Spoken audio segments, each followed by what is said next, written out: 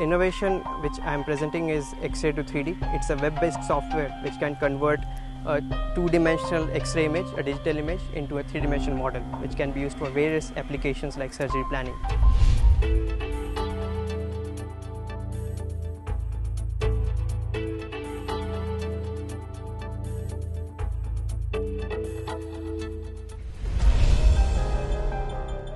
When I was a BTech at IIT Bombay, I was working in a project which was related to medical instrumentation design. That is more of mechanical but uses medical knowledge. And that time, Dr. Manish Agrawal, he used to sort of guide me or give me feedback.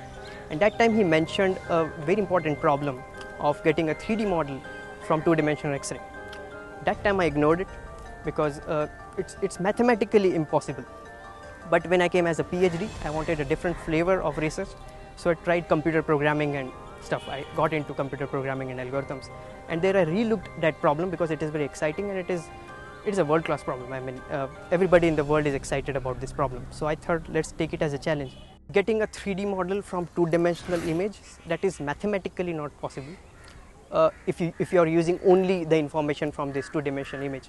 But if you look at a surgeon, an experienced surgeon, when he look at a normal 2D X-ray, he can imagine it in 3D because of his experience. He has seen so many bones, he has seen many x-rays of the bones, so he knows the correlation and that learning, that intelligence he has. I am using the same concept for machines. The same intelligence or machine learning, the learning you have to give to machine and machine can predict from two-dimensional image that how the 3D model will look like. Other than surgical planning, which is an immediate application, there are many futuristic applications. For example, uh, in future, robotic surgery will come up. A robot will directly perform the surgery on patient, which is not happening right now. For that, even then, you will have to train a robot on the basis of 3D models. And this software can give you 3D model with low cost and low time and no health risk. There are other applications like you can design implants much better using a 3D model.